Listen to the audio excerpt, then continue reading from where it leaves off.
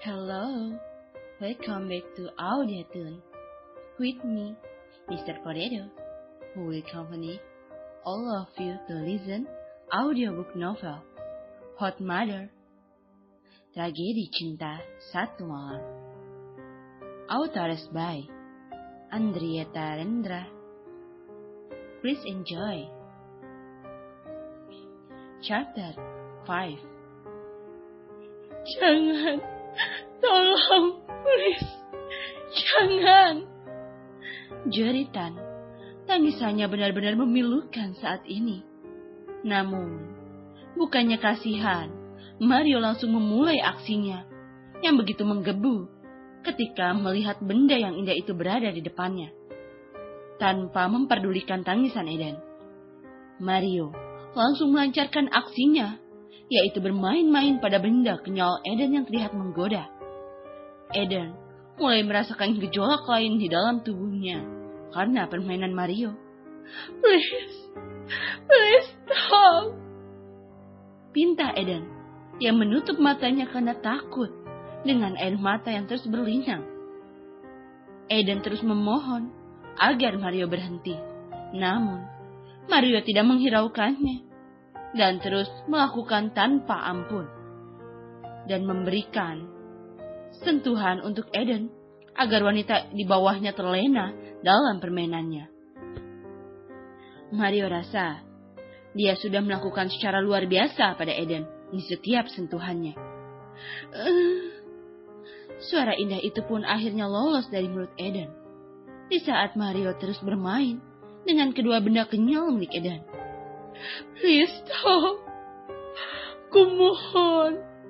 Pintanya kembali Kenapa? Ini tidak akan sakit. Percayalah, Ibu Mario, yang tak kunjung memberhentikan aksinya. Aku mohon hentikan.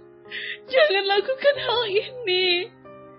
Tangisnya kembali sekali lagi, memohon agar Mario melepaskannya. Nikmati saja sayang, ucap Mario, yang tidak mau memberhentikan aksinya. Eden menjerit, kesakitan, saat bagian terlembutnya diberikan sentuhan luar biasa oleh Mario. Keringat dingin memenuhinya, yang diiringi rasa sakit kenikmatan. Kedua tangannya menggenggam erat pada spray putih, hingga akhirnya noda merah mengotori spray. Eden menggigit bibir bawahnya. Di saat Mario menggawangi dinding pertahanan mahkota yang selama ini dia jaga. Air mata kebencian pun dikeluarkan, mantap ke arah Mario. Mario yang merasakan merobek sesuatu dan melihat darah di tangannya, sontak tersadar bahwa Eden adalah wanita baik-baik yang sangat menjaga kehormatannya. Namun, saat ini menyesal pun tidak ada gunanya. Dia sudah memecah segel suci milik Eden. Dia bahkan melihat Eden yang menangis semakin kencang. Namun, Eden yang sedari tadi memohon untuk dilepaskan, rasanya saat ini sudah percuma. Karena pria ini benar-benar sudah menjebol dinding lembutnya. Dan dengan pasrah, kini dia mulai menikmati permainan yang dilakukan oleh Mario. Sabar sayang, ini akan nikmat. Kamu mau passwordnya kan? Dengarkan baik-baik delapan, delapan, delapan, enam, enam, enam. Bisik Mario, memberitahu kode password pintunya. Sambil, bukan ini yang Eden harapkan saat ini. Dia benar-benar ingin menyelesaikan ini semua dan segera pergi dari tempat ini. Ini sakit sekali.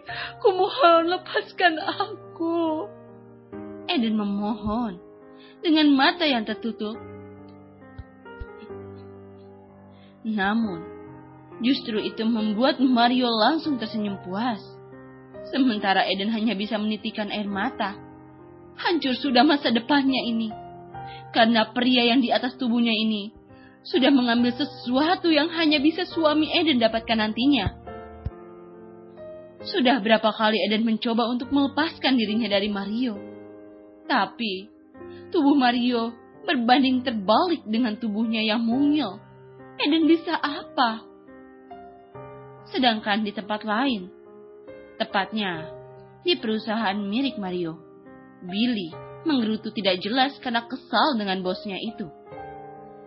Jika bukan karena gaji yang besar, sudah lama Billy meninggalkan Mario yang seenak jidatnya. Mulut Billy tidak hentinya mengabsen nama-nama hewan untuk mengumpati Mario. Giliran buat anak nomor satu, giliran kerja, gue yang disuruh. Mana ini banyak banget lagi. Gumam Billy kesal. Di tengah kekesalannya, seorang karyawan bagian keuangan datang mengusik ruangan Billy. Maaf mengganggu waktunya, Pak. Ucap karyawan wanita itu sopan. Karena dia tahu, selain Mario, Billy merupakan orang yang berpengaruh di perusahaan ini. Setelah Mario. Ada apa? Tanya Billy. Ada beberapa berkas keuangan yang harus diperiksa dan membutuhkan tanda tangan Pak Mario, Pak. Ucap karyawan tersebut sopan. Ya, kau letakkan saja dulu. Nanti akan aku sampaikan. Ucap Billy. Kau bisa secepatnya ya, Pak. Saya permisi. Ucap karyawan tersebut pamit. Dan berlalu keluar dari ruangan Billy. Billy menghempuskan nafasnya kasar. Kalau gue ganggu proses morenanya si bos, gue bisa mati saat itu juga. Tunggu dia selesai aja lah. Bangkrut-bangkrut deh di perusahaan. Guma Mario kesal, menghempaskan tubuhnya ke kursi. Thank you for listening. See you in the next chapter. Kalau kamu mau dengar audiobook lebih banyak dan gratis, segera download AudioTune